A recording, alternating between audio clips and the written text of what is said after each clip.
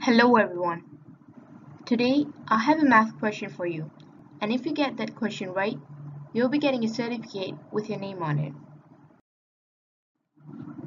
So this question is on the topic generating sequence. The 10th term of a sequence is 52 over 5. The term to term rule is add 4 3 over 5. What is the 20th term of the sequence? Once you've done solving this question, send your answers at this email right here with your full name to claim your certificate.